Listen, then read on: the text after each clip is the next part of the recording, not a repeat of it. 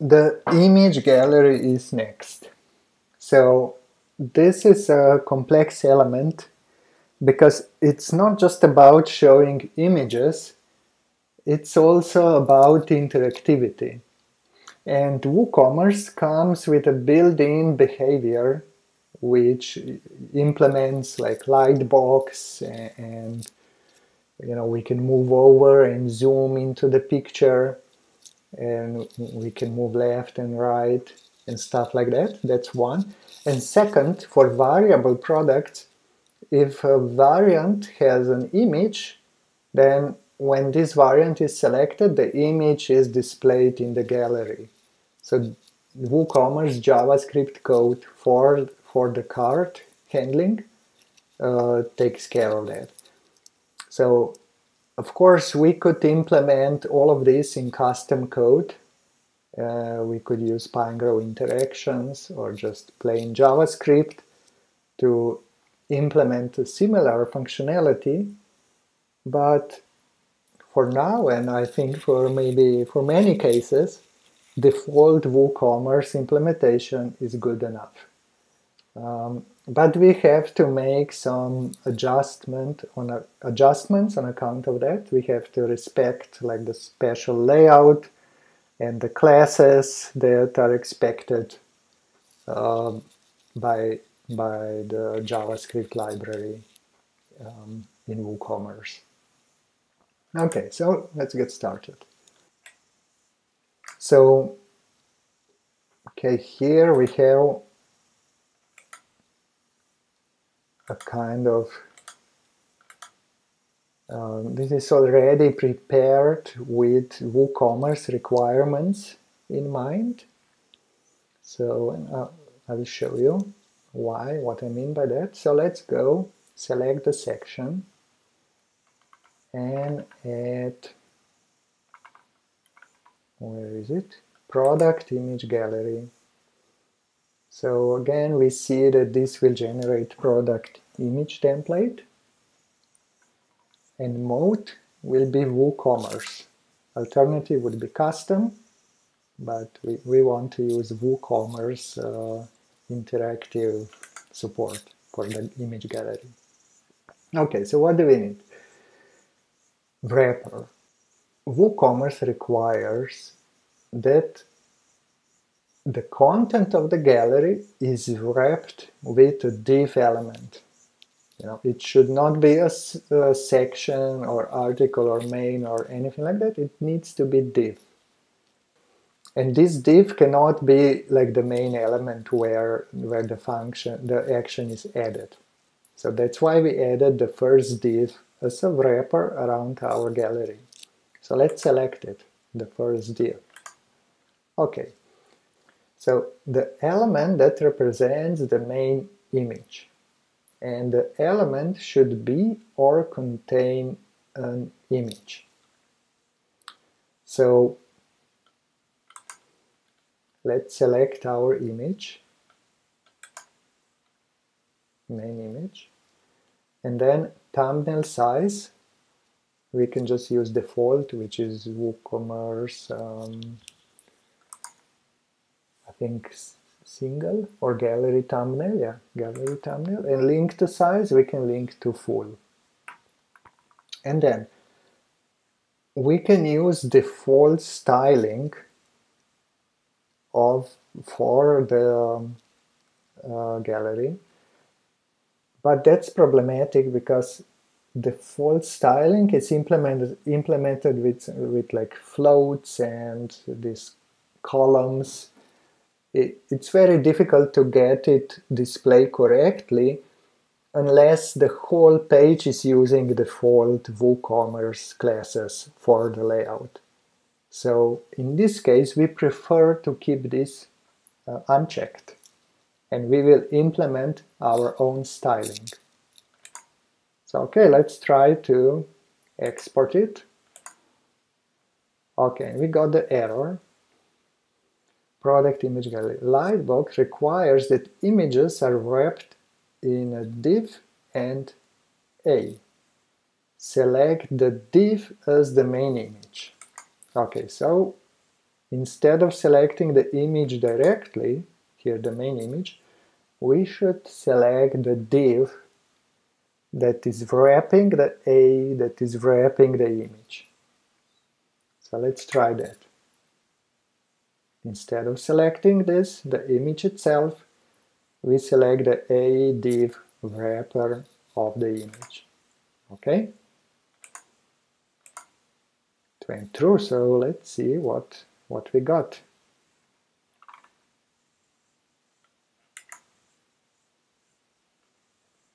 Okay, so we have Bini and we have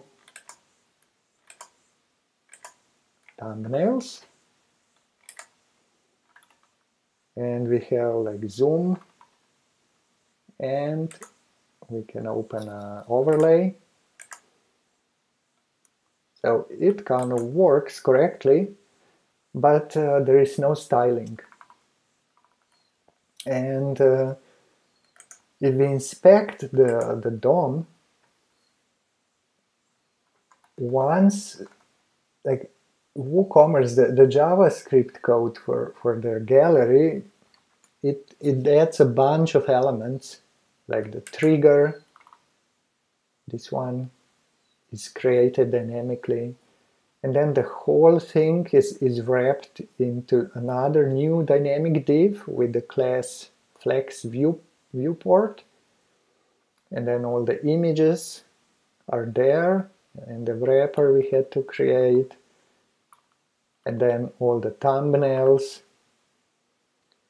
Um, and because we are not using the default WooCommerce styling, which comes with its own like special requirements and it's not worth the effort in my opinion, we have to style all of this manually. Um, and because it's created dynamically, we cannot actually add like bootstrap classes on, on these elements because they are dynamically created by JavaScript code. So we have to create like CSS rules that target these elements so that we display them in a, in a nicer way than what, what we have now here. And I have good news for you. I already prepared that styling. So it's kind of boilerplate code that you, we will use here to implement the styling and also you can use in your own projects to kind of uh, as a starting point for your own gallery designs. So we need to include that on the page. Where is it? It's in gallery CSS. And again, we, we include it in the master page. Just drop it on the page so that it's included like everywhere. You know, what, whatever is added to the master page is then included on every template page that is using this master page. Okay, so let's export go here, reload. Okay, so here we have. Now, like it, on purpose, the styling is minimal. This is meant to be a boilerplate code that you can easily modify. But it has like all that you need. So let me walk you through through styling.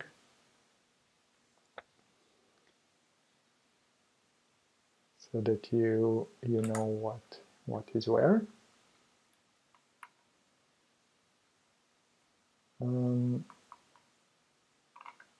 maybe we can just do it here. We inspect.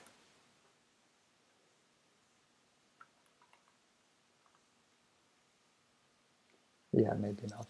Let's go back there. Okay, so first of all, this is like the, the top wrapper and we set position relative. That's so that any absolutely positioned element uh, is contained within the this element so that it doesn't go out. And then we have the trigger that is the this one. So it's just a round thing with an icon. And then before this provides like the border and the, the circle.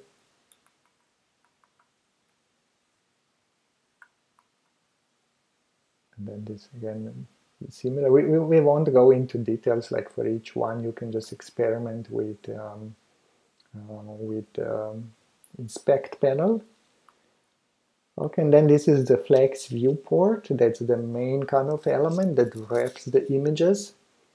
And we set the margin bottom and the background color. So why do we need background color?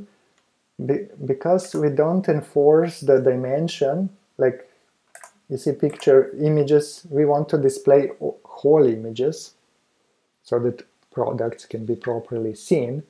And here so that this area is not white we, we use background image for the surrounding areas.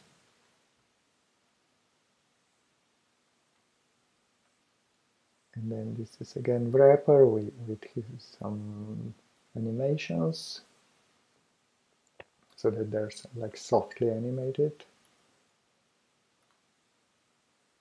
and this is these are images and we are using aspect ratio for 3 and object fit contain so that we display the whole image.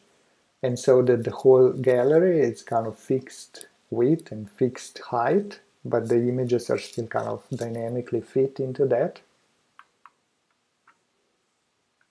And again we need to set the background here. And these are now thumbnails okay and then, then for for the thumb thumbnails we are using grid.